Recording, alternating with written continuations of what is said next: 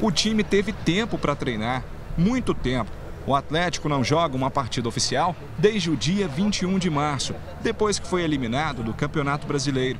Antes, já tinha sido desclassificado da Copa do Brasil.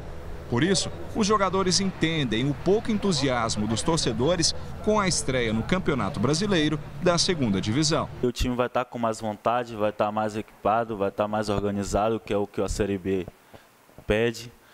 E o que a gente aprendeu foi que a gente escutou que o Atlético seria rebaixado. E depois o Atlético já teve chance de classificar para as semifinais. Então isso a gente aprendeu muito, porque uma, uma hora é uma coisa, outra hora é outra. Então a gente não tem que estar tá ouvindo o que os povos estão falando. A gente tem que trabalhar sério e levar o Atlético onde ele tem que estar, que é na Série A. A partida contra o Criciúma vai ser disputada hoje à noite, no Estádio Olímpico. Para a Série B, o Dragão contratou um time inteiro. 11 jogadores. Apesar dos reforços, o técnico Cláudio Tencati pede paciência para a torcida. Nem tudo está conforme o esperado torcedor vai ter que ter um pouquinho de paciência nesse início.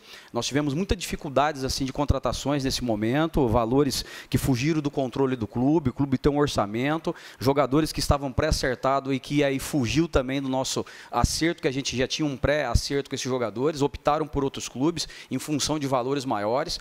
Então a gente vai ter que arrumar a equipe dentro da competição. No ano passado, o Atlético Goianiense fez a pior campanha da primeira divisão e foi rebaixado para a segundona.